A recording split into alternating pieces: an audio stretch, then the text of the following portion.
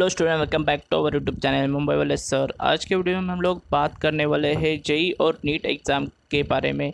तो ये जो एंट्रेंस एग्ज़ाम है अभी तक, इसके बारे में कुछ भी नहीं बताया जा रहा है कि ये एग्ज़ाम कब होगी, कैसे होगी। तो उससे रिलेटेड आज का एक लेटेस्ट अपडेट आया हुआ है। देखते हैं क्या दिया है यहाँ पर NEET point two September JEE Main exam in August, okay?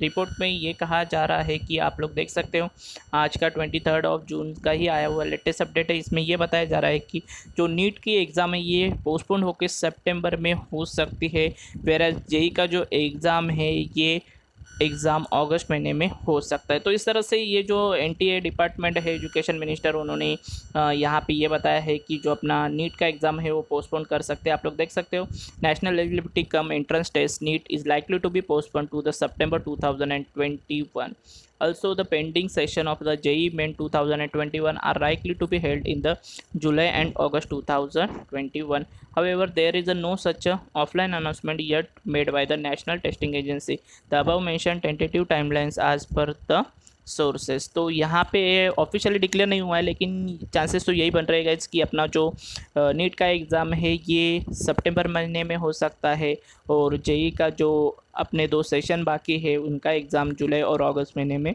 हो सकता है। इसके अलावा और भी कुछ अपडेट आपको चाहिए रहेगा तो मुझे कमेंट कर